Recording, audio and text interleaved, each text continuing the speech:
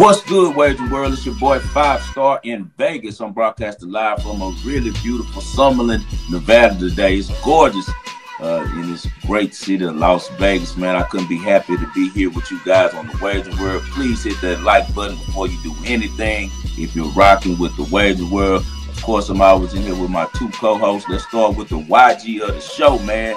You know, he's the youngest dude to run a casino sports book on the Las Vegas Strip. That's my boy, Casino Royale. Wow, what's that? I was on the milk cart to get up. the milk cart. We gonna see them folks looking for you, Cino. Hey, I'm about to start seeing the people knocking at your door. You, for see, real. Cino, a young boy, he's still living the, the, the, the good life, you know. Hey, you know. But look, one thing about Cino, hey, he definitely be on me too, on me hard, hard. But one thing about Cino is Cino gonna put in the work and Cino gonna make sure you know he make up for missed time. So if you follow me on Twitter, you got your winning last night. Shout out to uh, Five Star. Yeah. I think y'all had um Commanders first half. So first half, both of you hit both. You hit both ways. Shout out to the wager world, man. Everybody's someone over here. You know, we moved. I'm excited about this weekend. Let's get some winners in five. Hey, and it's so funny. They be so locked into the show. I think it's really, uh, you know, entertaining the people when they see me and you go with opposite sides on games because yeah. you know, of course, people are kind of messed up with the new culture of the way that they do sport sports shows due to debate now. It's all debate. So people like to see you know, a little antagony and stuff like that between us on that. But it's really just fun.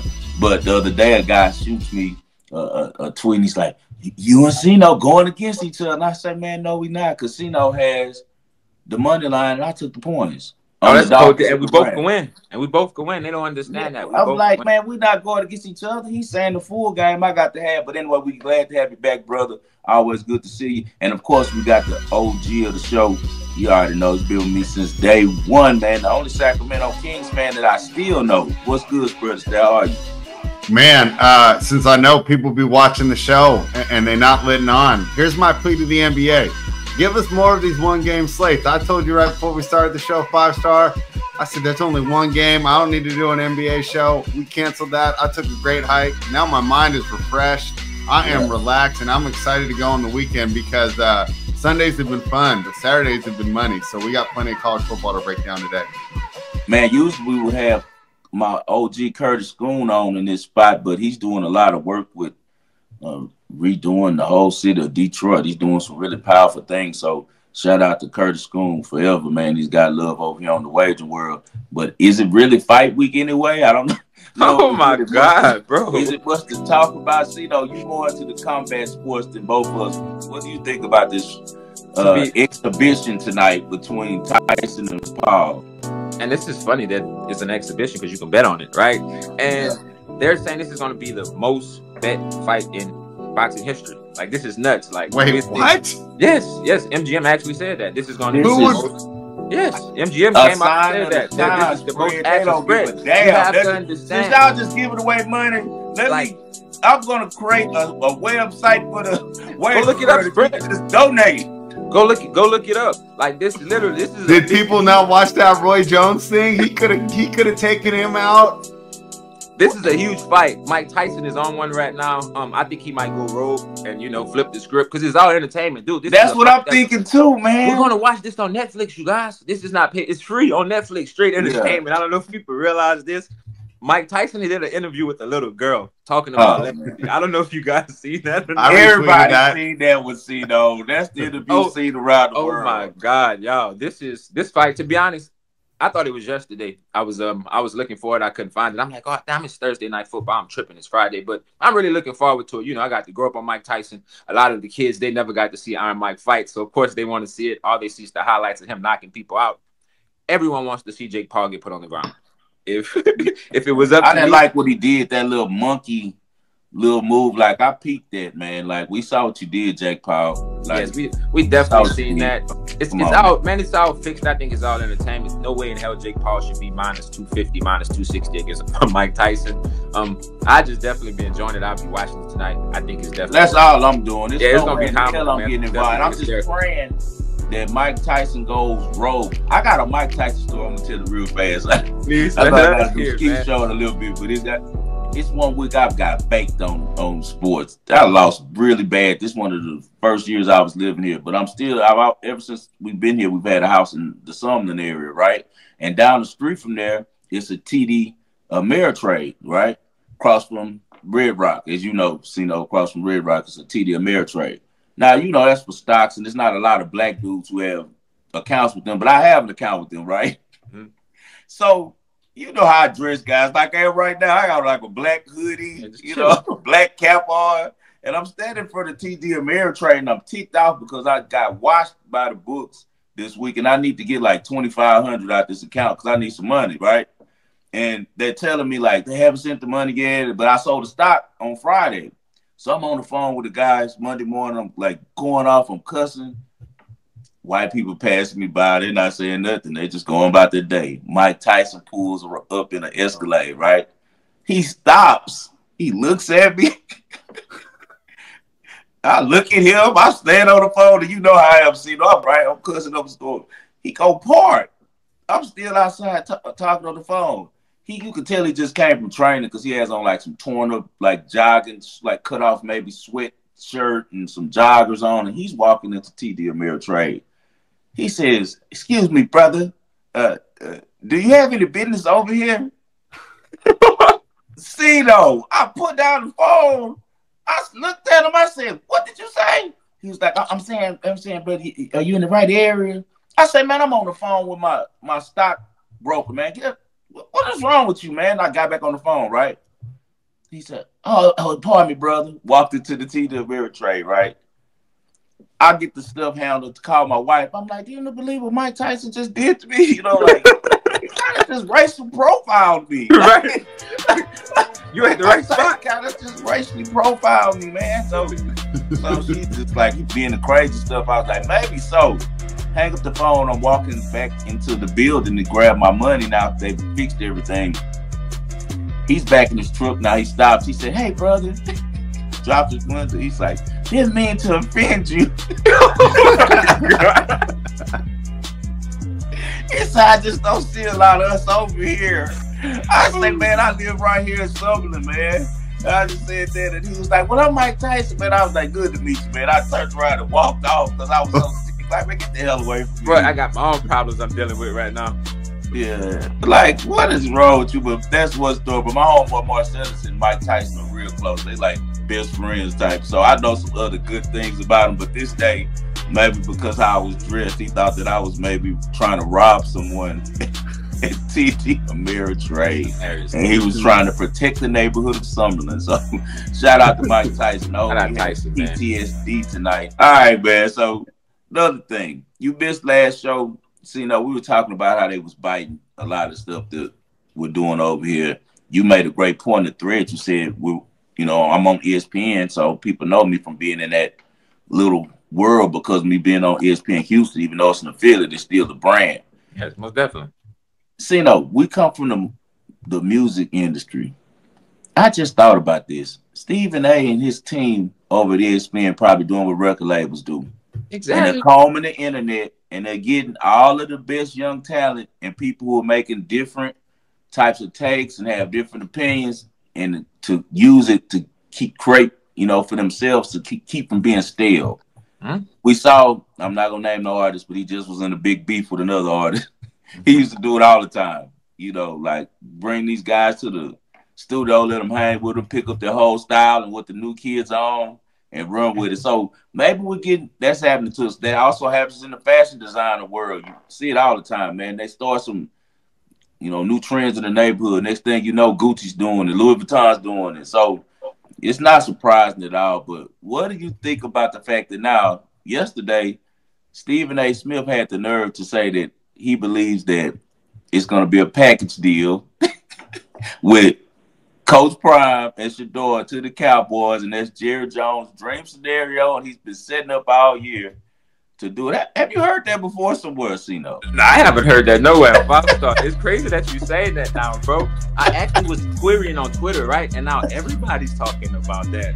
And if you go back and look at the uh, episode of the Wagering World, I think our timestamp is before any of these things were said anywhere else in the media. And again, I tell this to a lot of people. Um, last season we were actually affiliates of ESPN. We were part of that branch. Like we yeah. ESPN Radio. We were there. Yeah.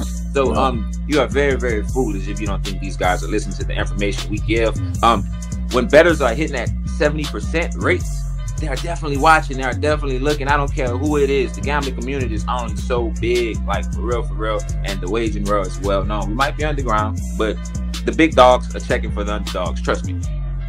Spread. What do you think about Stephen A. Smith and his audacity to now take this story, put legs on it as if it's his own.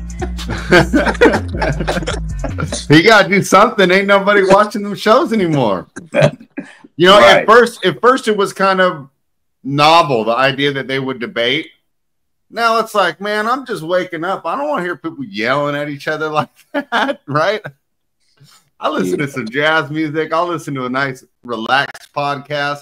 So I think I think they really have problems, and um, not to go on too much of a tangent, but but these cable networks are in trouble. Let's even hmm. look at, at what we just talked about that fight tonight, and I, I was thinking about starting to make sense when Cino said it's the biggest handle because you don't got to buy pay per view. Oh, you're right. You don't have to spend eighty bucks. Right. So if you just spend that eighty bucks and put it on the fight, it's what you're used to. Yeah. Uh, I think everything's going to streaming. I was listening this morning. Prime going to try and get League Pass next year. It's going to be another blow. I wonder how much longer I'm going to have this YouTube TV. Because uh, the only thing I really have for now is college football. And once that goes, I mean, yeah, it's crazy. So uh, I'm not I'm not surprised they're doing this. And like you said, they've been doing this in music for years.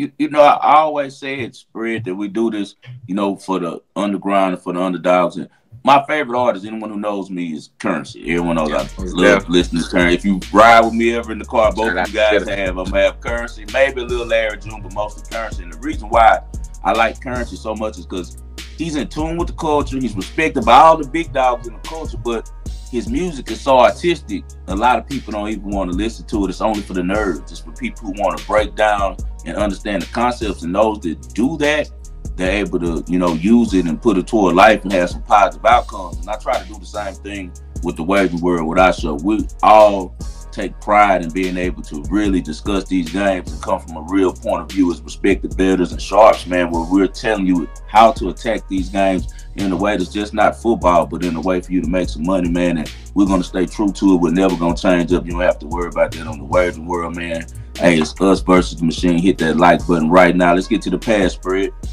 All right, we got plenty to talk about. And the first game on the docket is last night's Thursday night football game. Uh, man, uh, the dream season for Jayden Daniels uh, hit a little bit of a speed bump, right? It's not over yet, uh, but we see that there's a reason this team was in fourth place and drafted second overall. And the Eagles have been Super Bowl contenders for the last five years. Uh, the addition of Saquon Barkley continues to pay dividends. Uh, you see him behind that that offensive line and you realize, hey, football is a team sport. You can be great individually all you want, but you need the full team moving that way. And you see him behind a real offensive line, unbelievable there. So, uh, Philadelphia Eagles get the win. They move into first place in the NFC East. What did you see in that one, five star?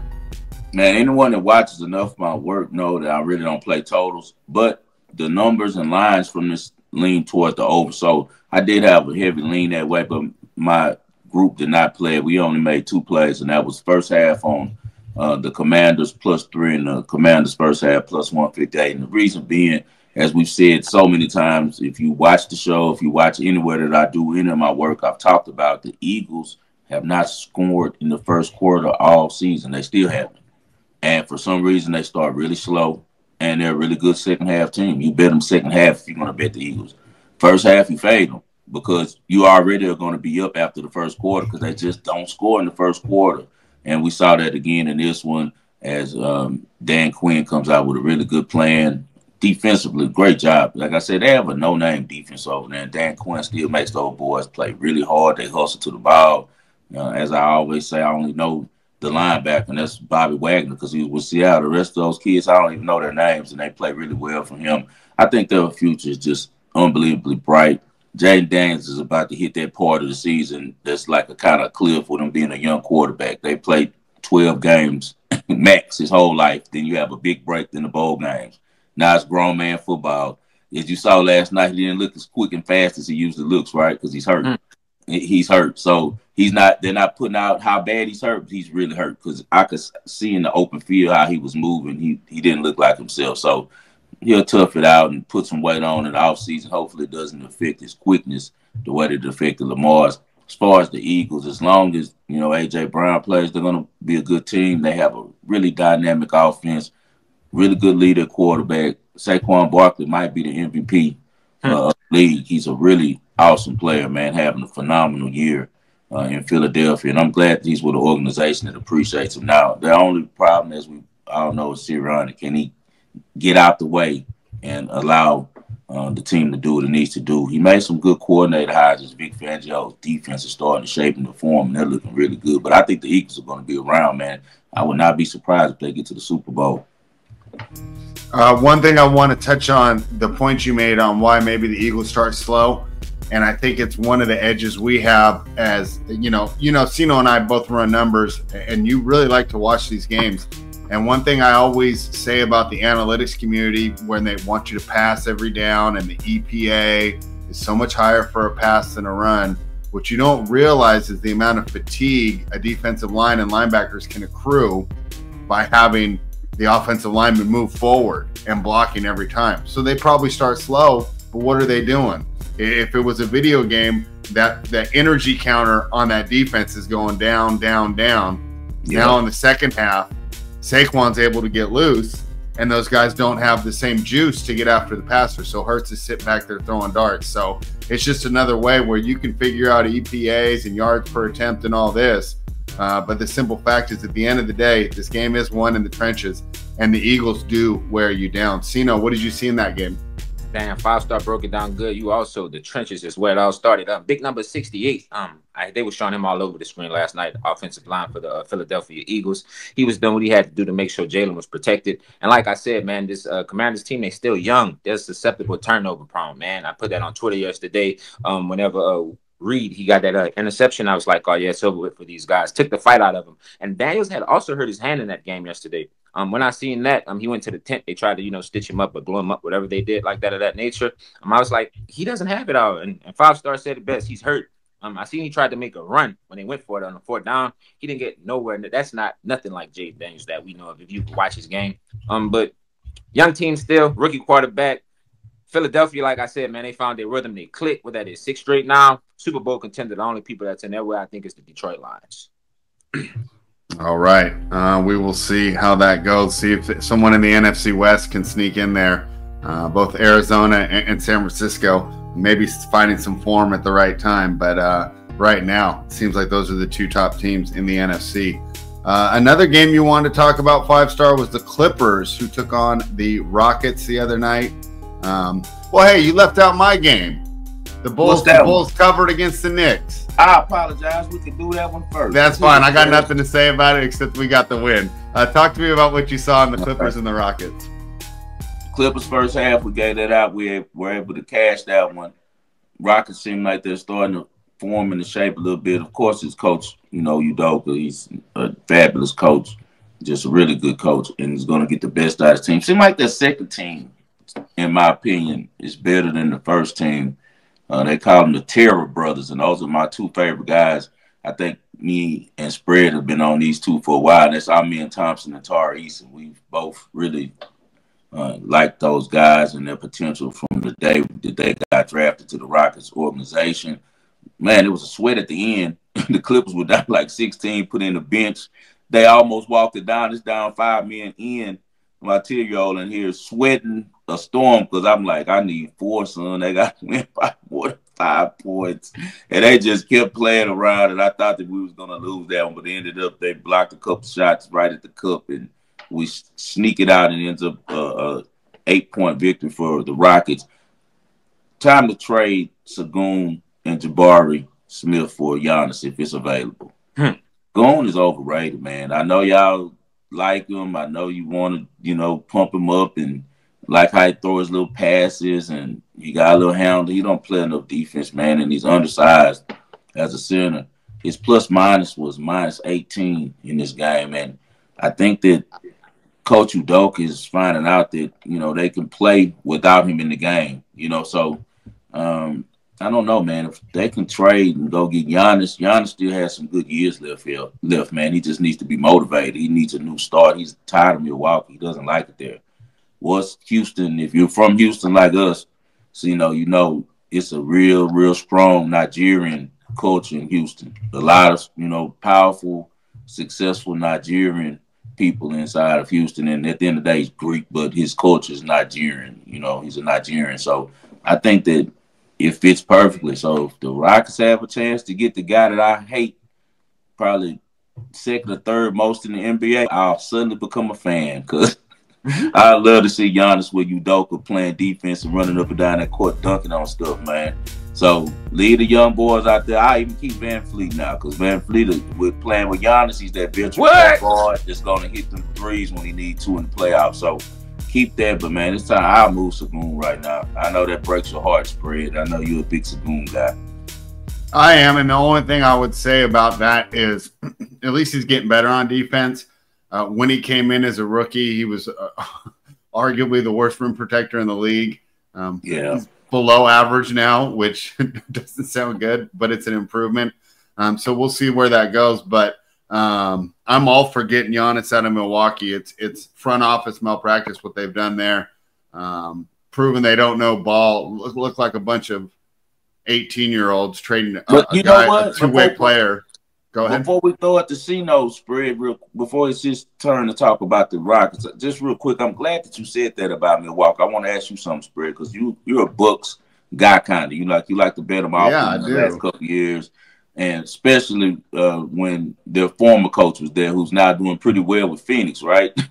now it yeah. seems like they ran off a championship coach for Giannis, traded a championship player Jrue Holiday for Giannis for Dame. Did he not have anything to do with that? Cino's shaking his head. Cino, do you have some intel? it, it, don't make sense. Why would you do something like that of that nature? He was right? he was all excited when they traded Jrue Holiday, calling Damian Lillard on the phone and saying he, that they needed a closer now. And if we know that he ran off Buzz, come on, he ran off Coach Buzz. You don't think so, spread? I don't really know, but I know that it was a mistake, and that's where you need a strong front office to tell a player. And, and, and hey, CC New York Jets, we run the show, you don't, right? because you let these guys look at look at the way it's like when LeBron demanded Russell Westbrook and KD demanded Bradley Beal. Sometimes these guys don't know basketball like building a team. They see what they see on the court you know, and they love the athleticism. They go, God, I can't stay in front of that guy. But they don't think about team building and where the money goes. Otherwise, yeah, I mean, once they traded for Dame and got rid of Holiday, they got rid of the identity of that team. So. I, I, call those two man robberies. That's just like Davante Adams and and A Rod over there. That's just two homies that we got to lick. Let's hit this lick here. You hold the window up and I'm gonna crawl in. Oh my god! Yeah. and I'm gonna be the lookout while you come out with the money. That's the type of situation both of those were. It's just a money grab. What do you think about that Rockets Clippers game, you know? Uh, five star. When I was listening to the show, I seen uh, you was on the Rockets first half, right? I yeah. gave out Rockets full game. Um, in this situation, Rockets always whip the Clippers' ass. They was like six and no against the spread. I kept running my numbers too, and it was saying the Rockets would win by like nine or ten. All right, so uh-huh. everything was looking good. And the game started off slow. The Rockets were actually trailing. Clippers defense is nothing. They're nothing without a Kawhi Leonard. They have to make some adjustments. So yeah. I'm looking at the game. I'm like, man, what are we gonna do? I had the Rockets money line with the Lakers, and uh, we also had the Rockets minus four. Uh, they came through. Jalen Green, um, he got that contract. He done what he's supposed to do. The Rockets bench they play a huge factor in that team. They do everything that they have to do. They keep impacting. Um, they're gonna be all right, I believe. So shout out to the Houston Rockets, man. Yes, sir. And we talking about Giannis. I think Giannis going to go to the state. To be honest, I think he's gonna play with Curry. Curry's doing too good over there not to have you know a team like he who he got, but him, Buddy Hield. That's about it. Like what what what do they have to get Giannis? Like the Rockets have some pieces. I don't they, think that Golden State has anything that anybody wants for Giannis. You know, like well, nobody don't want Wiggins. Nah, you know, if they were, yeah, I don't know. I think their hope would be they would get the draft picks and just hope the team fell off. You know, yeah. be like, like potentially, and it's for Jrue Holiday, but that pick that Milwaukee sent to New Orleans this year might be pretty good.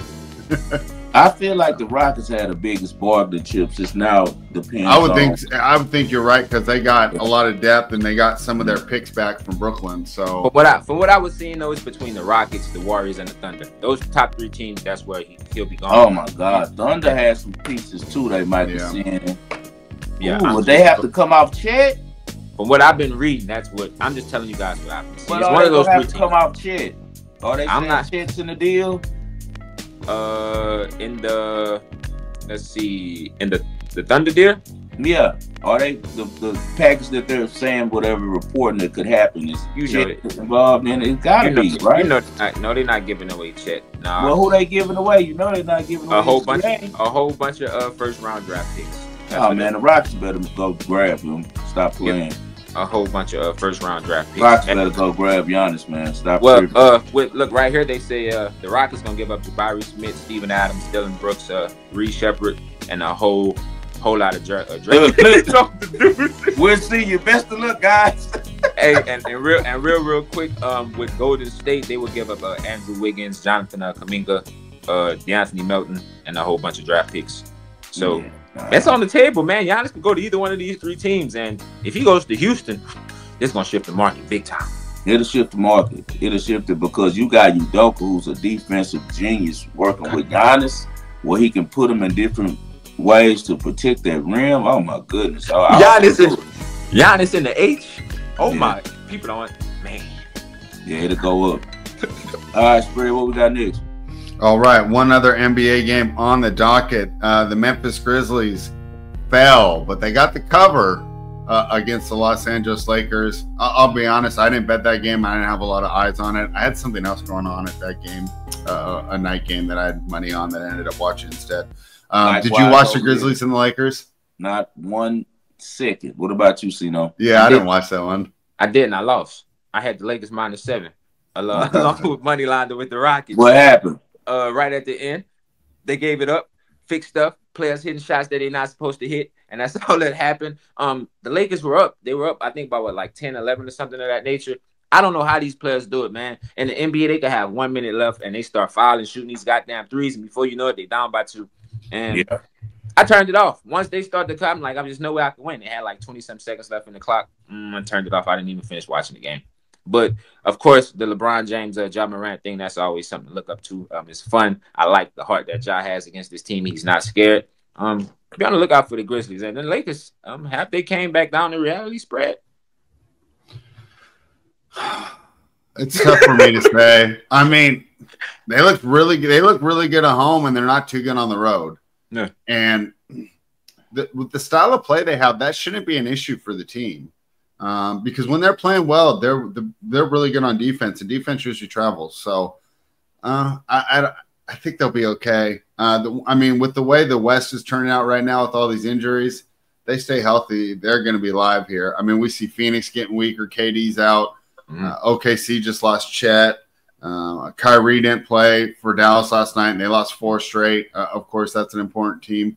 Golden State's doing well, but they're healthy. Let's see. I mean, they ain't going to stay healthy for 82 games. Let's see what happens to that team uh, right. when they miss a couple of those pieces. So, um, I, yeah, I, I think the Lakers are okay, and they got the win, and I think that's all that really matters to them. You're right, but they struggled. LeBron's never cared about covering spreads. No, of course not. He works, but they didn't cover at home. They struggled against, you know, uh, Ja Morant. He wasn't even there. His presence wasn't there. Yeah, but that Grizzlies team without Ja isn't as bad. If you look at if you just run numbers, they almost the same team. I know Same Ja's team. excited and everything. Yeah, I cashed on that too. Remember, I gave out over 12 and a half spread on Pippen on that game. He Yeah. almost He had, he had like he had like 15 to 16. I just know Jaren Yeah. Jackson had went off in that game. He damn near had 30.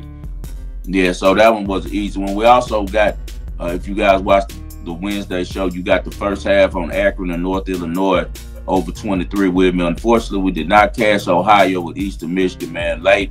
They just couldn't get it done. That quarterback, Snider, the transfer from Buffalo, is complete ass. And I, I did not know that he was back starting because they had been playing another guy the last couple games. And man, he's horrible. He turned the ball over twice right before the half really Ohio should have money line this game, but unfortunately take the L on that one. And bad beat, bad break, bad handicap, just a bad, bad beat on that one.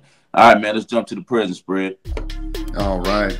The next up on our docket is UCLA. They're catching four and a half in Washington on Friday night. Man, Washington, uh, what a fall from grace after being in the championship last year. Uh, I can't get it done at all. Of course, they lost a lot. Uh, they lost their quarterback, they lost their coach, and they lost about three wide receivers to the NFL. Um, so Washington not doing too well this year. Uh, Uh, UCLA still kind of trying to find their footing. They're about like the 10th most popular sports team in the Los Angeles area. Uh, what are your thoughts there in, in that game, five star? Well, as you said, not a good year for Washington. But I mean, shit, it wasn't a good year for Michigan either. The team that won the national championship that they played against, they're both in the same type of rut. It's because they were senior led teams and had coaches who both left to go get the bag. And you know, when that happens, you're gonna have to rebuild. So they're struggling this year, but they made a bad decision with the quarterback that they chose. They chose the right coach because you guys know how much I, I like Jedd Fisch. We rode Arizona last year and won a lot of money with the Wildcats. So this year, UCLA is that team. Very similar to what that Arizona team had going on, where all of a sudden I seen a switch hit and a confidence about their team. Um, as I said, wrong quarterback for Washington. I'm going to fade him every time. I'm not a Will Rogers guy at all. I don't think that Will Rogers is a guy that you can trust. He was benched uh, in the last game that they played uh, for Demond Williams. Watch him because he is a dual threat quarterback. So if he gets some playing time, he can um, maybe give UCLA a couple issues. But as far as in um, Washington as a whole, their offense doesn't scare me. Their defense is really good against the pass, but UCLA is starting to run the ball really well. Deshaun Foster is their head coach. You know, he's a former running back. Eric Ben is their OC. He's a former running back. They're finally finding their, you know, rhythm in that run game really strong defensive line. One of the few teams you're going to ever see run for 200 yards on Iowa. They dominated them in the trenches, and I kind of told people before that game that physicality uh, would be the key to the win for UCLA, and they showed that they're one of the most physical teams in America. The six uh, and one against the spread on their last seven away games, and six and one against the spread as a whole. Overall, they had some tough, tough early games, man. They played Indiana, LSU, Oregon, Penn State, Minnesota. All of those games prepared them um, to be ready for this moment right now where they're going to try to make a bowl game. Tough wins at Nebraska and at Rutgers. Give me UCLA tonight plus the four. I would not be surprised if they win money line at Washington. Cino, I already bet this. Are you joining us? When Five Star gave it to me before the show, I bet it. Are you? Are you joining us too? Again, I'm gonna start this game right here because I'm a guy turnovers, man. Turnovers kill everything. And uh, Ethan Garbers, he that's a near lock for at least one turnover. If you go look at all his past games, every game he didn't throw an interception or turn the ball over in some way of nature. And Washington always find a way to win at home, like uh, in conference play. They always, I don't know.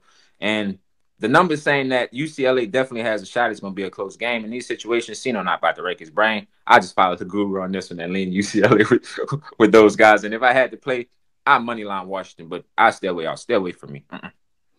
All right, we have the idea from that. I feel like if you're gonna money line, I'd money line. You said like the reason is now your juice is too high. You're in a mm-hmm. game where you know that either team has an opportunity to win. The great thing about betting sports is like flipping a coin. It's heads or tails. Either way, it's gonna be a win or a loss. So why would you pay minus two hundred in juice with a team that could easily lose over paying, you know, hundred dollars to win? Plus 180 on a team that could win because you can always get your money back live. So that's my approach when it comes to betting that. If I'm gonna flip a, uh, a coin, I'm never going to pay juice. All right. Uh, the next game I want to talk to you about the Houston Cougars traveling to Arizona to take on the Wildcats, and uh, you know, Arizona's got some. They do one thing right in that state. They don't. They don't follow daylight savings. I wish we didn't have to do that uh, what are your thoughts here uh, when Houston actually switches time zones now to take on the uh, Wildcats? Man, my lean on Wednesday on this game was Houston. Now it's too much money coming in on, on them, and the Cougars aren't that good of a team. I do like Chris at quarterback. I do think that Willie Fritz is starting to get, um, his, you know, his his type of football being played by his team. But it's just, I don't know, man. This is a tricky game for me. I'll probably wait and bet it live because if Arizona decides to play and decides that they want to win, they can win this game. It is a home game. They are a more talented team.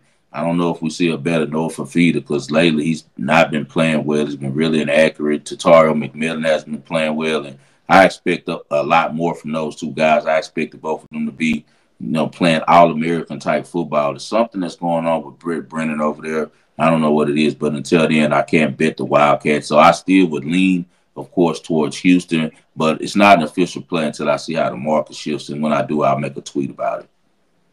Cino, are you getting involved, or are you waiting too on the uh, Houston Cougars versus Arizona? I feel the same exact way. Line minus one and a half. That's a very very sharp line. The market's to touch you to bet. So I just stay away. We still have a little time for that game. All right. Uh, let's see. So this now we're moving to Saturday, and Texas is taking on Arkansas. Yep. Minus thirteen. How are you approaching this one?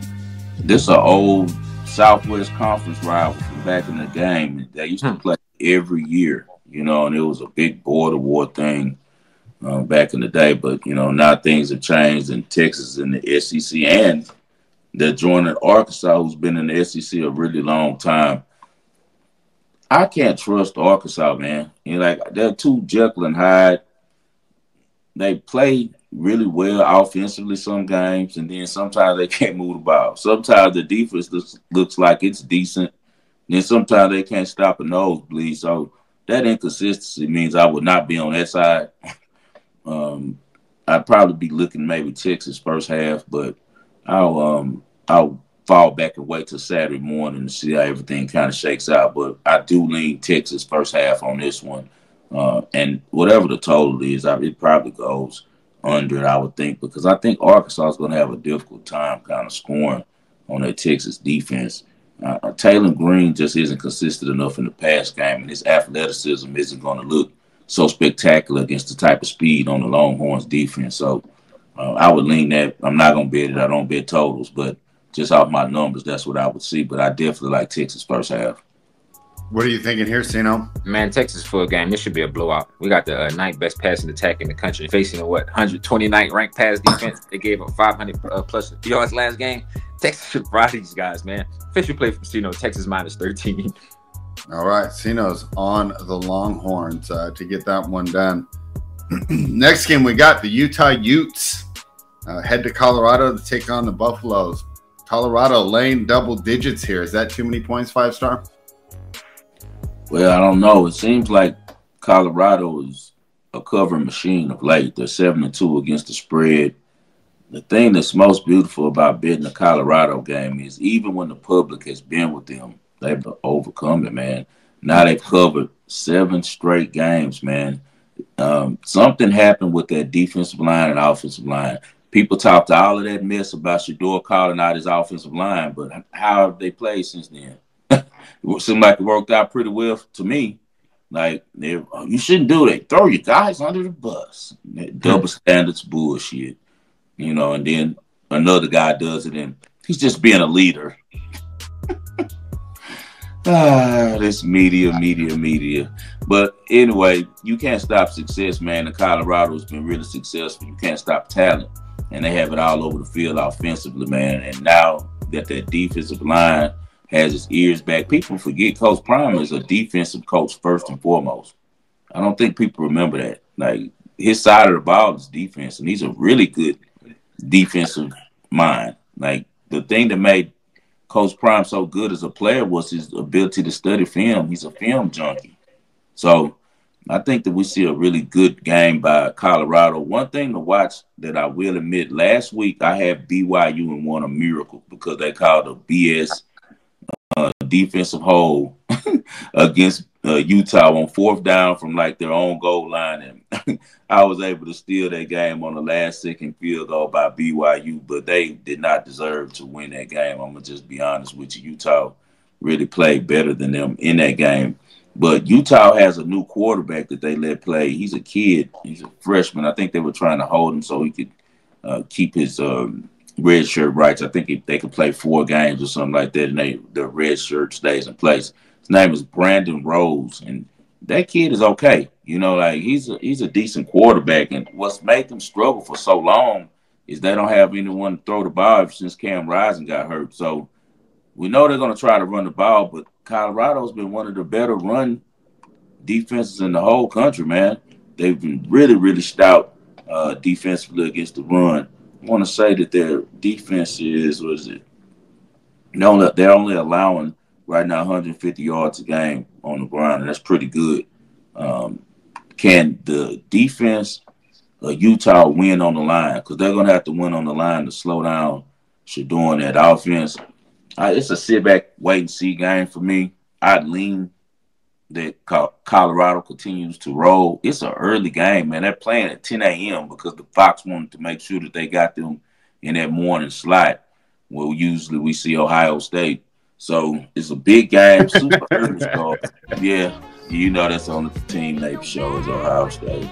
But Colorado's going to play right there, man. And so we'll see how it go. But I, am very interested to see can they cover this game. I'll be looking as a fan. But if I can wait live and get like a minus six, I'll probably jump in on that. Cino, are you going to play this game pre-flop? And uh, are you disappointed to not be able to see Ohio State on your TV right when you wake up on Saturday morning? Oh my God, hell no! Nah, I like the new wave. Like said, the paradigm shift is here. It's time for a change, man. But the Buffalo, what they three wins away from clinching the Big Twelve championship spot, and they going back home with a supporting crowd.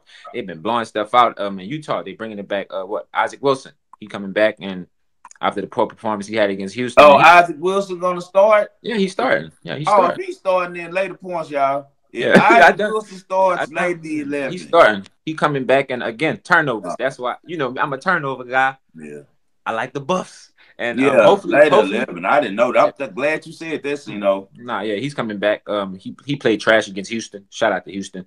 Um, and I don't. This Buffs defense they're what they're supposed to be. Utah got a lot of turnover problems. You know, their defense is there, but is a whole different animal. Um, Colorado right here. That's definitely who I'm leaning. Hopefully we can get a better number. If it goes down to 11, 10 and a half, something of that nature, we definitely on uh, the buffs. But uh, if you're in the raw group, I might give that out a free play, man. Colorado somewhere, but I like them. They should capitalize on uh, Utah's turnover, and you know Wilson, he's on struggle to cover the spread. Let's head over to the ACC. Uh, Clemson is going to travel to take on Pitt. How do you see the Panthers doing in this one, five star? See, you know, while I'm look, going over this, find out if Eli Holstein is playing in this game for me, Pittsburgh right. and Clemson, because that's what this whole. I mean, my whole handicap on this game is based on that. If he doesn't play, I don't want any parts of Pitt because of the similar situation we just talked about with Utah guys. I've seen Brandon Rose. You guys know how I am about quarterbacks. I can see the guys who can handle it and who can't.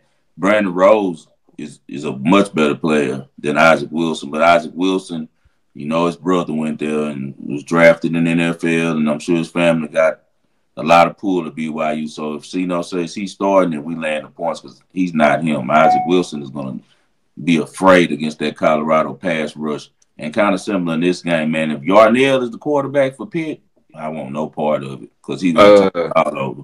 He's yeah, Eli Holstein. Eli Holstein is questionable. So they they keep it so hid in college. Yeah, so it went up to 11 and a half to make you think that Eli Holstein isn't playing. I got a 12. Yes, take the 12 spread. You got to take it because that. you. The reason I say take it is because we can buy out if something changes, right? What if mm-hmm. Holstein ends up playing that morning and go to nine? Because he's worth about two and a half, three points.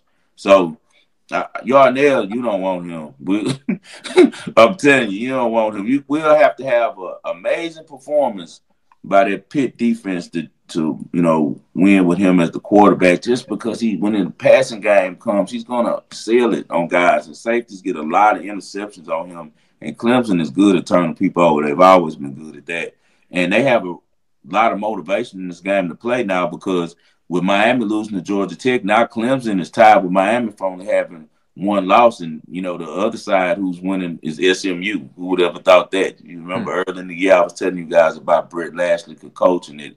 Kevin Jennings out of Oak Cliff was a really good quarterback. Went to Carter High School, and now he's the starting quarterback. Replaces Preston Stone, and SMU is first year in ACC hasn't lost a game. Offense looks unstoppable. So they're five and zero oh on one side they seem to be headed towards the championship unless they get upset. And then now on the other side, it's either between Clemson or Miami.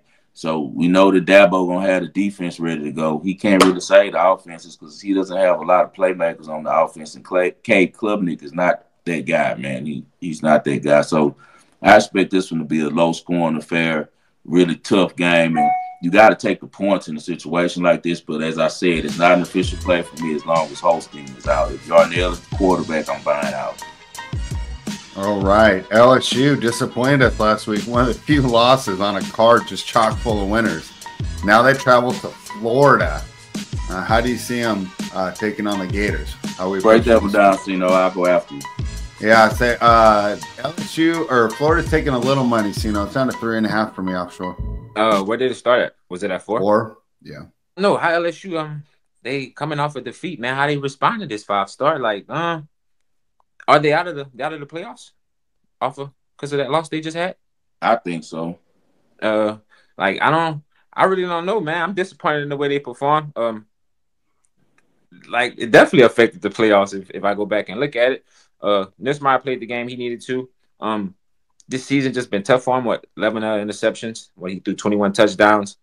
I don't know, man. This Tiger team, they was just a big, big letdown. There's really not much I can say about them because the gate is down, but they still fighting. Like they still got a shot. And we lost to Bama. I really thought we was gonna win that game, and they got embarrassed. It was Bama came out there and shined on LSU. I, I was just gonna say, I, I know uh, you enjoy listening to Colin Cowherd, and it sounds like he enjoys listening to you because turned it on yesterday, and he wants Brian Kelly out of there too. And I said, hmm. Hmm. I, I, swear we just mentioned this yesterday on our show. We just talked about it, and it's crazy because Jason McIntyre definitely comes over here and gets plays, and you know we, you know, put out bets and stuff because he's retweeted a couple of things that I done, gave me some like props for my read on Cam Ward early. But this depends on DJ Lagway plays. DJ Lagway plays, Florida gonna money line LSU. I'm telling you, if DJ Lagway is the quarterback, Florida's gonna win this game. And they said that he worked out on Monday. So it's a chance that he might play. So this game for me is based on that. I feel like LSU and the Saints are not to be trusted right now, even though the Saints had that company game. The NFL made sure they won, and you know, mm-hmm. young Way played like a young hoe. You know, it happened. So that's all with and done. But for the most part, both of those teams just aren't the, the teams right now to be betting on and putting your money behind, man. They, you don't want to risk your money on LSU right now. So, as I said, if I played anything on this game, it'd be Florida plus four, pending DJ Lagway. So two games straight, man. It's all about quarterback. But in my handicap, it's all about head coach, quarterback, defense. And, and there's a reason that uh, Jake Paul's fighting tonight and not tomorrow night because the real main event of Saturday is Tennessee taking on Georgia. Tino, I want to start with you on ah, this yeah. one. I, I can talk about this. I'm still hurt about that LSU team, y'all, because man, it's so I had so much expectations for that team, dude. And we're not even gonna make the college playoffs, probably. That's just sad. If we get money back. You believed in us, my. I told you that before the yeah, you started. did, man. And if we get money line by FSU this weekend, we really out of there. But let's move on to this game right here, uh, Tennessee and Georgia. What you were saying, Spread? Uh, it just I'm surprised at how many points Tennessee's catching. Um, uh, what are your thoughts going into this game? Georgia, Georgia desperately they need to win to get in the playoff and stay in this. house. But do they need to win by ten? I mean, that's a lot yeah, of points for a Tennessee team that's playing hey, really well. Yes, and that's the books are making. They have to make a statement. They have to show that we are still that team. They can't go win by a field goal of seven points. You can't because it's going to be a close game, and you're going into Tennessee again. It's hard to win on the road. You can't. Yeah. And I, I don't. Shout out to Carson Beck. We riding Carson Beck this game. We're just gonna keep. Oh Lord. Look, that's a lot of points. Five star. The line looked too funny for me. It looks way, way too funny. Way too funny. And like I said, Georgia needs to win. I think they do it by two or more touchdowns.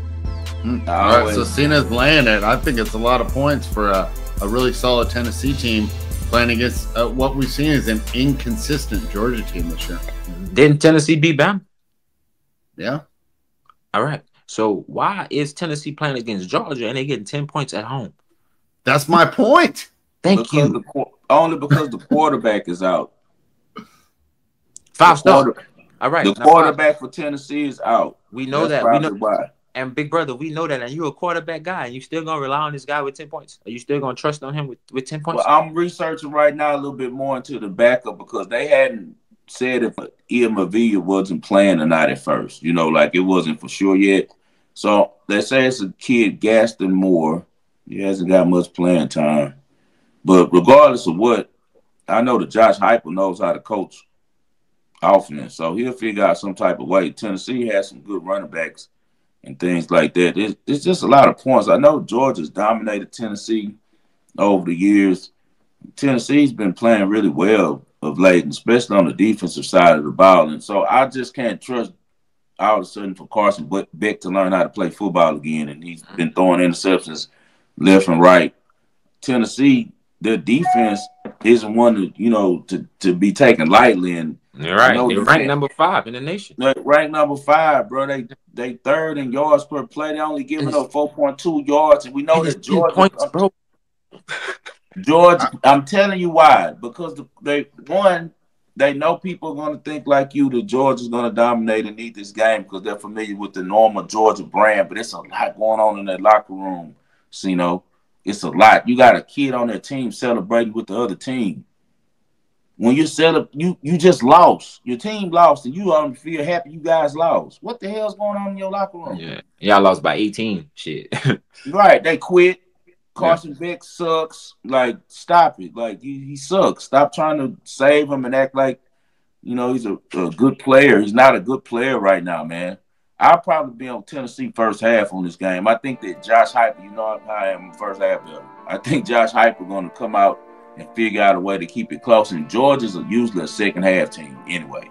So I think that Tennessee comes out with a good game plan, slow down that running attack, just like the great point that Spread just made about offensive linemen. If it was a video game, that was a great analogy Spread. That if their energy levels were showing, it wears down after a while from just leaning on them, leaning on them. And I think Tennessee might wear down, and they do. They might end up losing by 10, but we ain't to give it a shot. I'm going Tennessee first half just because I trust Josh Heupel to come up with a really good game plan early, even though they have a young quarterback that'll be in the game. But I also like Tennessee's defense against Carson Beck. Yeah, I mean, my final point is, and I know you guys know college way more than me. You know the players way more than me. But I'm just looking at, at my odds screen, right? Tennessee's catching 10 on a 46 and a half. Hmm. Look at some other of these 10 point spreads. Like North Carolina's laying 11, but the total 64. Just seems like a pretty low total for 10 points. But we'll see. Yeah, uh, I guess I'm wrong. Colorado's laying 10 and a half on a 44 and a half. But the uh, book it just seems like a lot of points for a game with a low total. Yeah, they're telling you Tennessee's not gonna score. Like, yeah, not. that's what they're saying. But that's what Georgia might not score either. Look at yeah, but it te- defense. All Tennessee need is one touchdown. You guys do to cover that spread. They get a touchdown in the field goal. Georgia ass in trouble. Simple as that. Uh, they ain't get that in the first half. Second half, they're gonna be through. They probably. I, I wouldn't be surprised if Tennessee win at halftime.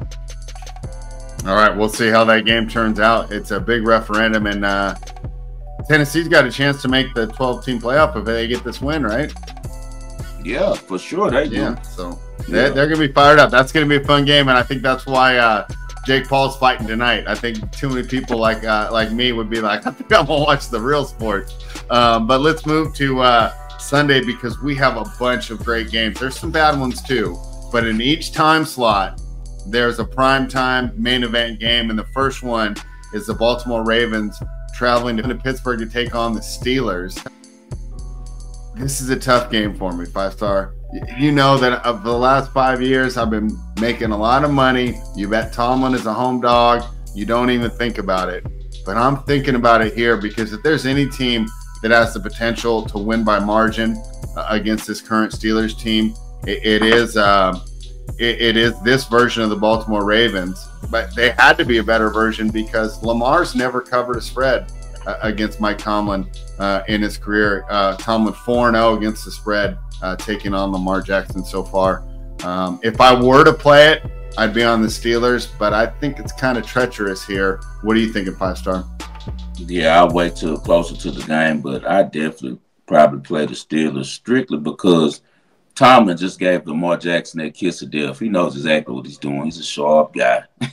he gave him all those compliments when they said that stuff about Jayden Daniels, and he's about to try to make him have his worst game of the season, and they very might well pull it off. As you know, Tomlin owns um, John Harbaugh, like he, he just does. You know, he seven and three against them in the last ten. They've won now uh, seven and one in the last eight. So why would I take the Ravens? I don't care how good they've been looking offensively. They scored 10 points the last two times that they played the Steelers defense. It's something that the Steelers have figured out about slowing down Lamar. they haven't given the recipe to anyone else in the league, and I'm sure um, that they're going to hold on to it. But you have two different forces going here because you got the Steelers, who, as I said, are seven one against the Ravens uh, since 2020, and then you got the Ravens who covered their past eight road games on extended rest. So it's a couple things, man. You know the Ravens are going to be probably really fired up for this game because they know how bad the Steelers always beat them. But do they have the defense to start enough to get a really, you know, growing and you know getting better offense in the Steelers? The Steelers' offense is really finding its way under Russell Wilson, and his confidence is building more and more and more and more. People forget this Steelers a Super Bowl winning quarterback. he never forgot how to play. I told you guys last year in Denver he was still good. We saw him pull out a couple miracle victories for Broncos last year, and Sean Payton was pissed he won. You know, so um, I, I, think that these Steelers are hard to deal with. They've covered four straight home divisional games, man, and they've covered by a margin of uh, plus thirteen point nine. So they're beating ass when you pull up in those yellow towels out there waving. I know the public gonna be on the Steelers, but man, I gotta be a Huckleberry. I'm going with with Tom the money line on this one. I think I think the money will be even. I've heard a lot of uh, love yeah. for the Ravens here, and if you run numbers, um, it's going to tell you to take Baltimore off, off, the strength of their offensive explosion mm-hmm. here. If you take right. Pittsburgh, it's more just off the ATS trends and just knowing how these division games go. So you know where you landed on this one. Um, y'all couldn't have said it better. Like as professional betters in a divisional game, a home underdog, like you gotta take the dog, man.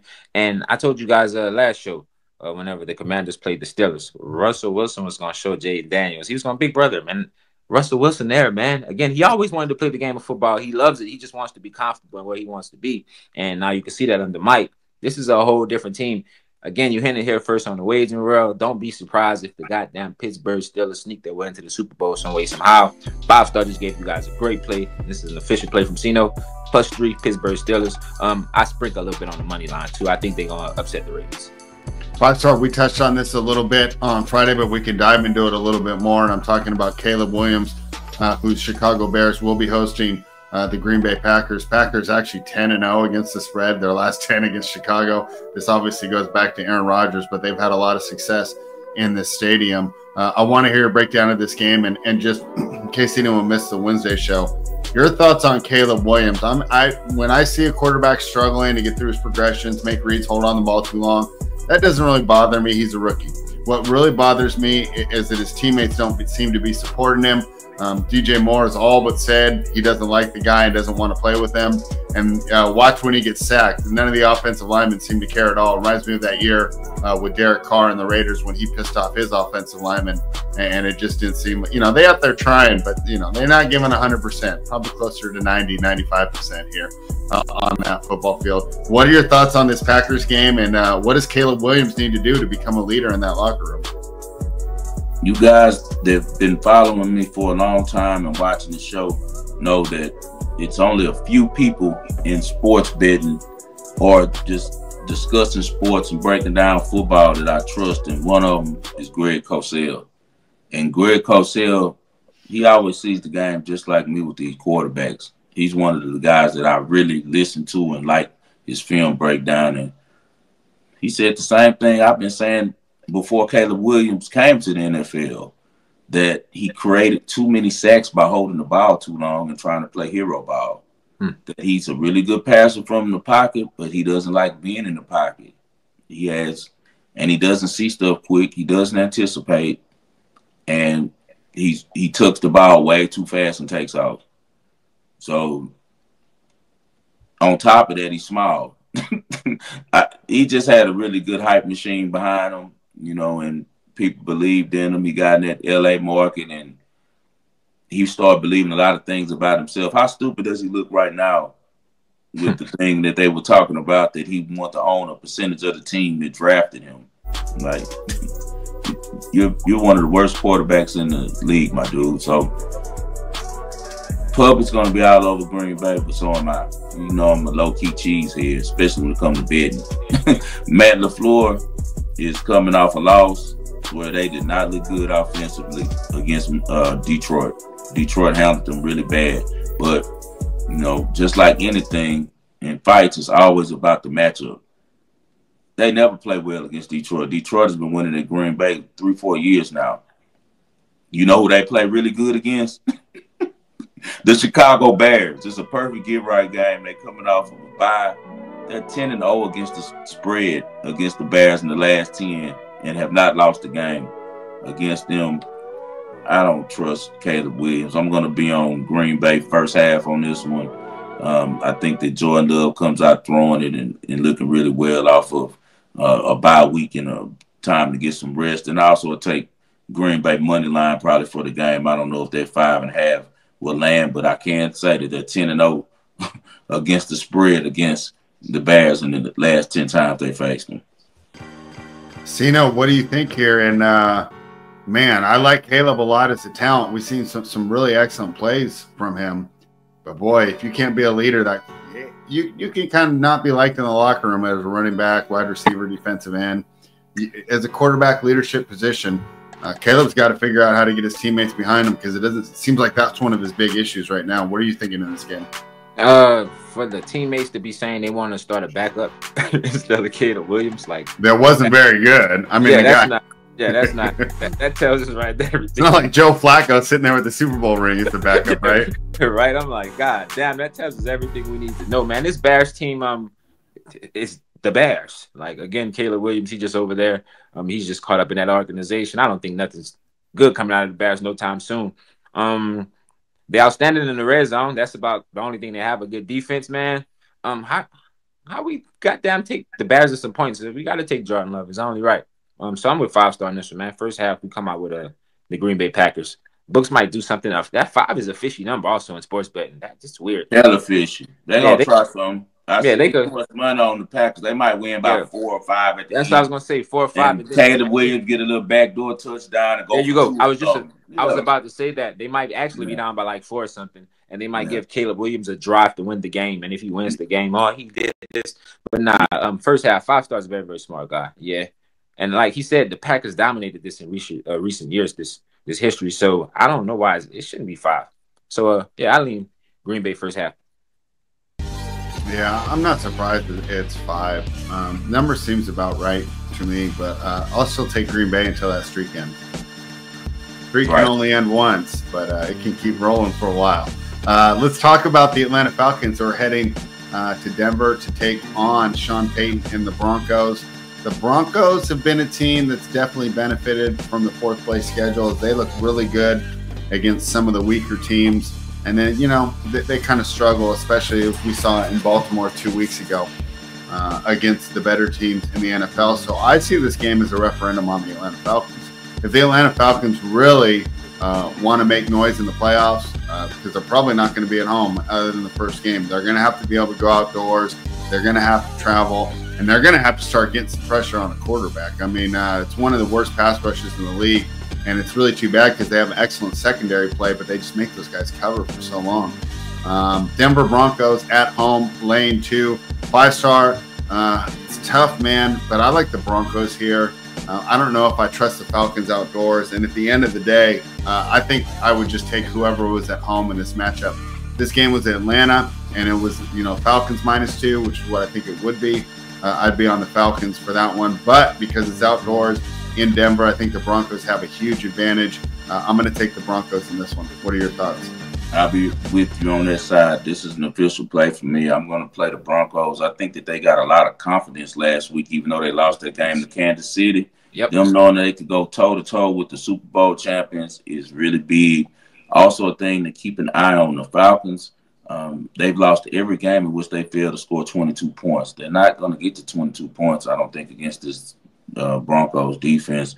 Um, this Broncos defense is number one in the league in defensive yards allowed per play. Man, they're only allowing five yards per play, and they're the fifth overall defense. Also, another thing to keep an eye on: the Falcons are two and six against the spread in their past eight games with a total under 45 points. Because we know that at the end of the day, the Broncos are going to muck it up. They're going to play ugly. They're going to get physical, and it's an outdoor game.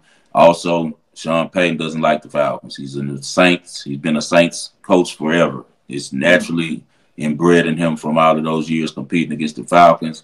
Uh, that he wants to beat those guys.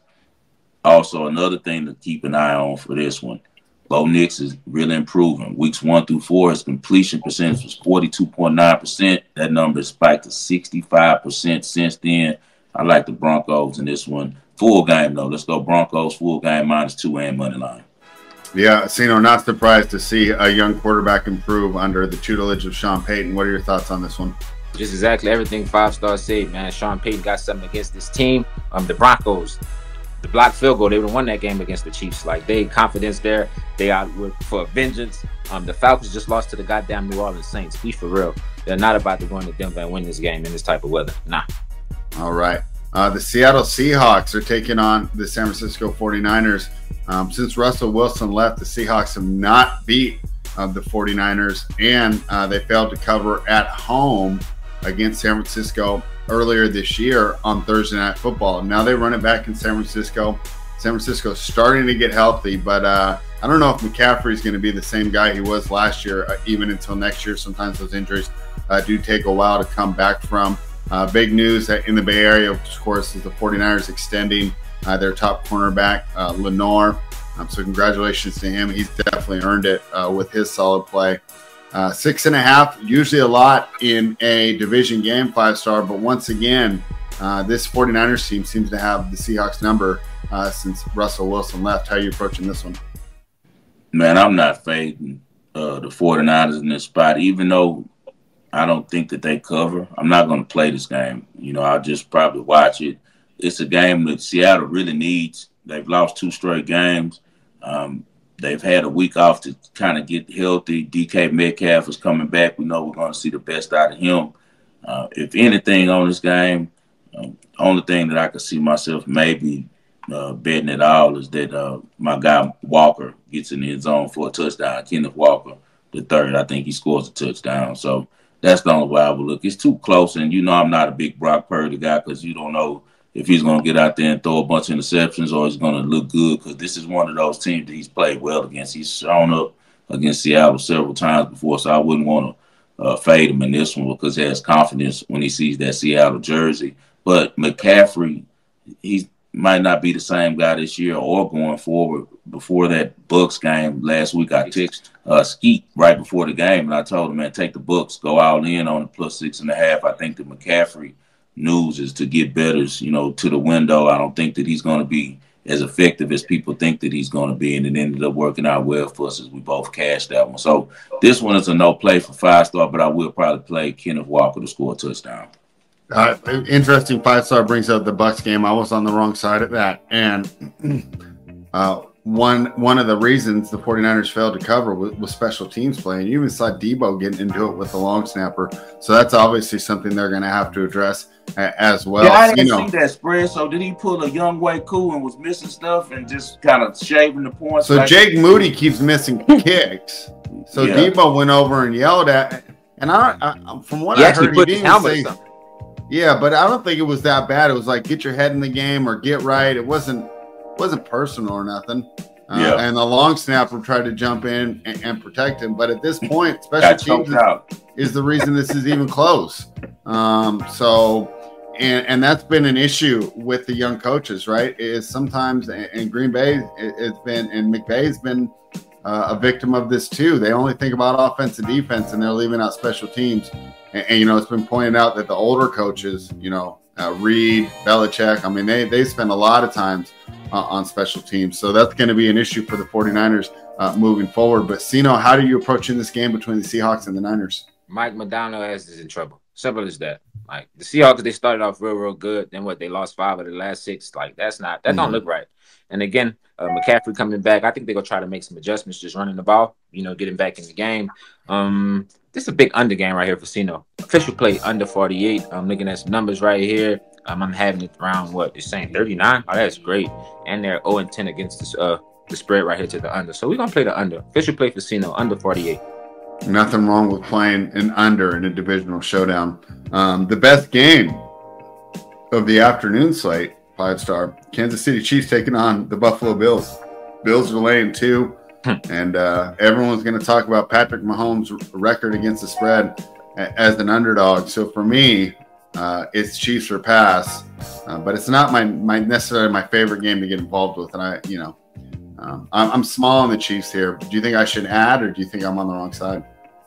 This one too tight for me. I'm gonna bet this game live after it started, and one of these quarterbacks get behind and try to grab about seven and a half, eight points, ten points, or something, and and wait for the other quarterback to fight back a little bit in the second half because the the Chiefs they roar back every week second half. They're a second half team. They're five one one against the spread in the past seven road games.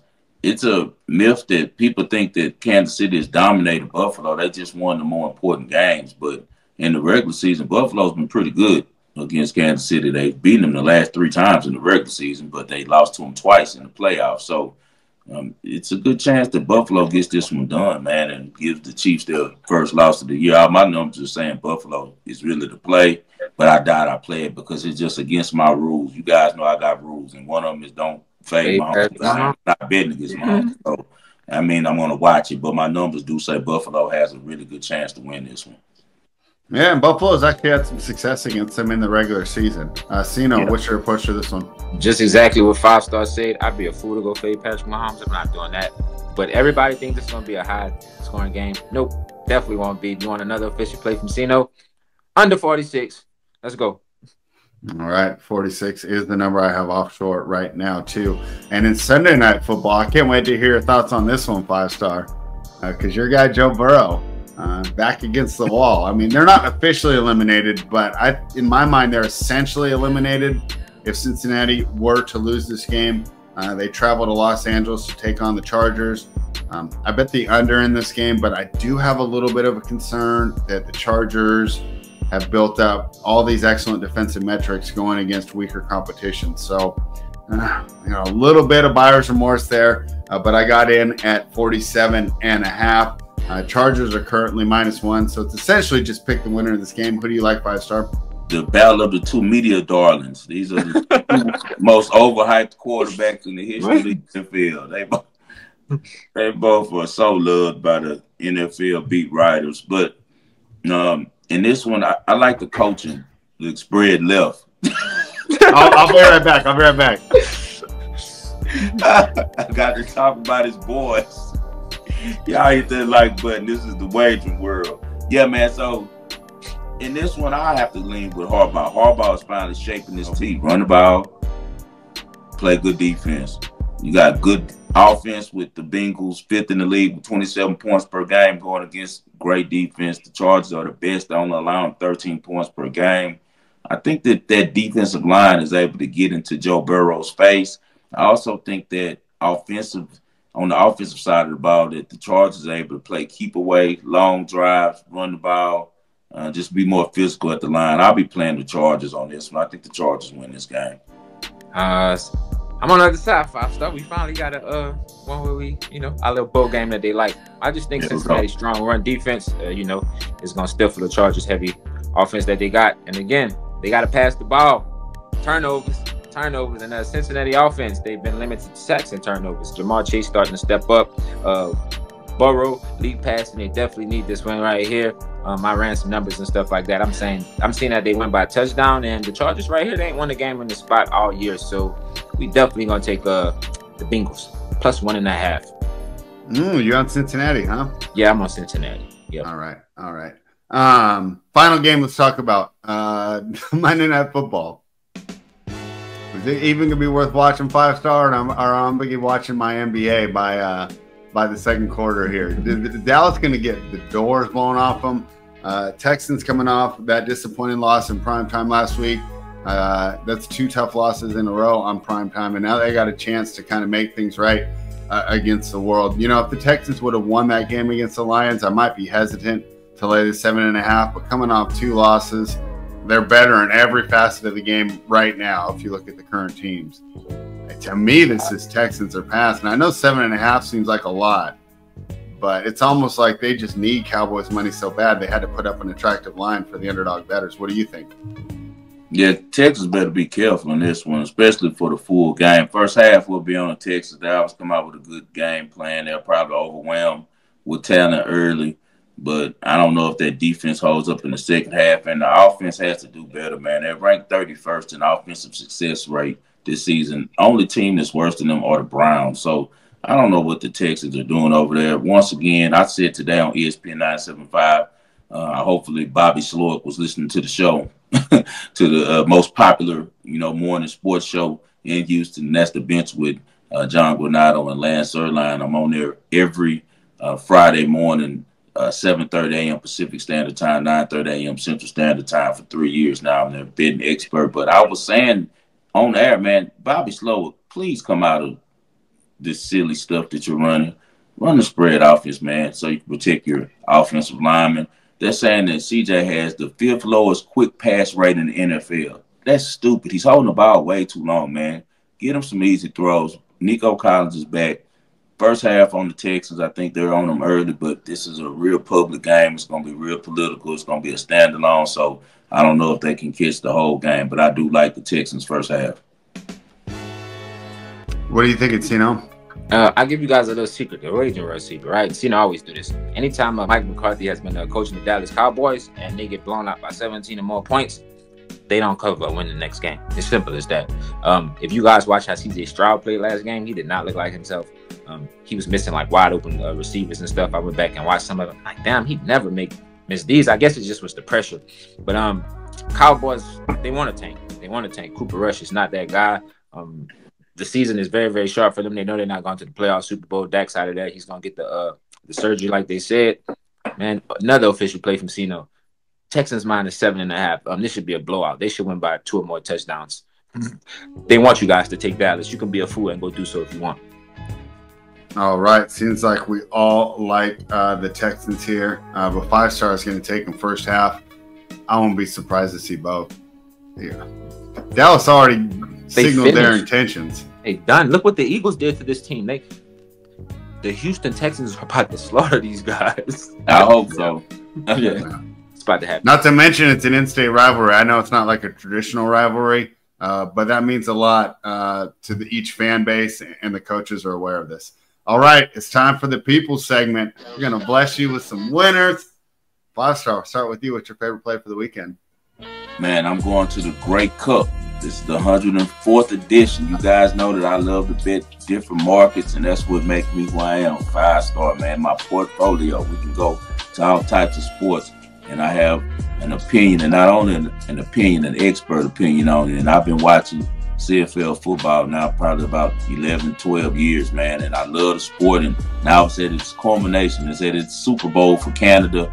Um, nine and a half points is a lot of points to be given this Toronto team, man. I think it's because Chad Kelly's out. That's their superstar quarterback. But they've been playing without him most of the year anyway. They went nine games um, of playing with another quarterback because Chad Kelly was on suspension for making sexual advances at the uh, assistant coach. They had a female assistant coach, and he was in there, you know, making them feel uncomfortable and get suspended by the league for nine uh, games. That's pretty much on brand for Chad Kelly. He's a real frat boy, so I don't think that they're going to miss him. They've been able to do just fine without him.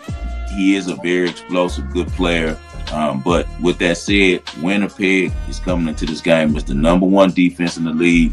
They play really tough, but they got some pressure on them to not become the Canadian Buffalo Bills. Um, they lost two straight Grey Cups now under Mike O'Shea.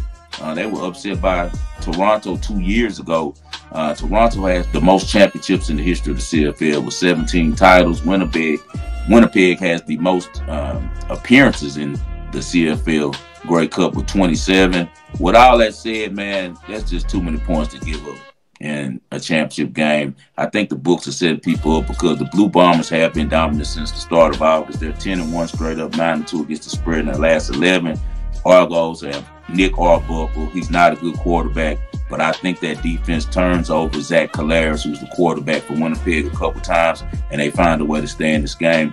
Give me plus nine and a half with Toronto in the Grey Cup. You guys tune into the 104th edition. The Grey Cup in the CFL has been going longer uh, than the NFL and was the place that a lot of African Americans uh, went to play football when they couldn't play in the NFL. So you guys tune into that one. Also, I give you guys a college football play. You know what I always say: if the line look mud, looks funny, it's probably money. So we're gonna roll this week with once again, Illinois in this spot. It's something that the books are seeing um, that they don't believe too much in the lie now. So we're going with Michigan State plus three on the road. I trust Jonathan Smith to get it done.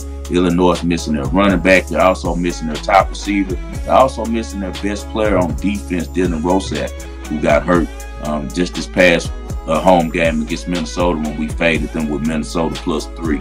Something that the books are saying. If the books don't trust you, I don't trust you. So I'm going with Michigan State and Jonathan Smith plus three on the road to Illinois. A quick note for those out here in California, and I know we got a lot of viewers in Texas as well. Uh, if you're tailing five stars play on that CFL, you're going to find the nine and a half at Bet Online. On Bookmaker, it's already down to eight and a half. So go to Bet Online. That's I just placed it on Bet Online there, um, and I, I, had to pass over Bookmaker on this one. Cino, Appreciate the ball in parlay. Uh, I'm gonna run back the team I gave out on the free play the other day, uh, and I, it was a loser. I'm gonna take the Rams, man. The Rams they uh, won three of their last four games, and the Patriots lost three of their last five games. Um, LA the better team offensively. They they struggle to get in the box at home, man. Um, I don't think the Patriots are gonna be as successful offensively because the Rams they can control the run. Their defense is real real good at that. Um, and this is the same spot the Rams were in whenever they played the Vikings and they won that game and they were underdogs. They won. I think the Rams come right here, blow this team out, um, just how they did the Vikings, and it should be an easy win over the goddamn New England Patriots. So we're taking the Rams minus four and a half. Oh man, I was gonna, I'm gonna be opposite you there. See now. Good luck, my brother. Yeah, yeah I like the right. Patriots too. I like the Patriots too. I got, I got to switch it up. I got to switch it up. Good luck, you guys. All right, well, Cino's gonna do this. I make this a raw play because again, they're ten and zero in this spot. They'd be eleven and zero. So you got a free five unit bet from Cino. Rams minus four and a half. You All heard right. it right uh, there. He said yeah, the, OG, the reason we opposite Cino is I, I, I think that Drake Maye is a little underrated by the market right now. Um, yeah, he's been too. excellent so far this season, and I'm just trying to catch a little value before everybody uh, catches up. So that'll be a fun one for us. And you know, we we know the viewers all love it when we're on opposite sides. You know, so I'm sure they're all going to be chirping you never get a you never get a, a congratulations though. They always just chirp the loser here. Like that's that. that's it, right? Like when we all when we all won the Cardinals, we was all on the Cardinals game. Nobody yeah. came and said, "Oh, you." Nope. They just. Yeah. But you lose, you get a bunch of messages. That, that, that what you got for us, though, spread? All right, then I'm gonna have to pivot, but it's a game we already talked about, uh, and I'll go. I'm going with the Denver Broncos. Uh, I'm gonna lay it against the Falcons outdoors. It's it, at this time of year, we're fading a lot of dome teams outdoors, and I really like the way that Denver Broncos defense looks. I know they got housed uh, against the Ravens, but they bounced back uh, against the Kansas City Chiefs team, and I'm thinking this team is focused, uh, ready to go. And, and, then I had already bet it, but I love what Five Star said uh, about that Atlanta connection there with Sean Payton. I actually didn't make that in my original handicap, but that just makes me like the Broncos even more. There's no way that can be a net negative for Denver being familiar with that organization and also uh, having some built-in hatred uh, for that organization. So uh, give me the young man Bo Nix going against the old man Kirk Cousins, and I'll take the Denver Broncos minus two. All right, you heard it there. Five star. I'm giving out the Toronto Argonauts plus nine and a half as well, uh, with the uh, Fighting Michigan State Spartans plus three on the road against Illinois and another if the line looks funny uh, game. And then you heard Cino, he booking both his OGs. We both taking yeah. the Patriots that up top. and he's going with the Rams. He said five units down. So if you're a Cino believer, here's your chance right here. Minus four and a half, a five unit play for my young boy. And then right here you heard what spread just said. Me and them both agree also on the fact that we think the Broncos dominate the Falcons on the road. Anything for the people Cino before we get out of here? Uh, nah, man, you got the ball and parlay. You got four official official free plays somewhere up in between the other audio, man. Shout out to the wagerer. Let's keep winning. We back, baby. Yes, sir. Anything for the people spread. Yeah, NBA Cup action tonight. Just a quick uh, word of wisdom there. Um, these totals are going to seem a little inflated, and you're going to want to play a lot of uh, unders. But remember, in the NBA Cup, point differential is a tiebreak, and then points scored is a tiebreak. So a lot of times these games are higher scoring uh, than we project. Just something to keep in mind for the people as they're betting the NBA Cup. And those games will be every Tuesday and Friday uh, for the next three weeks. As always, great words of wisdom from the OG of the show. Great handicapper, man. The spread. Hey guys, we appreciate you for tuning in another week down. You guys hit that like button. It's week 12 college football. That's almost a wrap. We're about to get in the bowl season soon. And uh, week 11 on the NFL, it happened so fast. So that means stack your bankroll while the getting is good. Hey, man, if you know, you know. That's what this show is all about, man. You guys have to tell the people, tell your squad, let them know that if they want to win some money, come over here. It's, if you know, you know. You know you're going to win with the Wager World because it's always for you guys. It's us versus the machine. Hit that like button, as I said. Subscribe. Tell your friends subscribe. I dedicate this show as always to my father, the greatest Houston sports fan that I know, and that's John H. Lindsay. We'll see you guys next week. This is the Wagering World.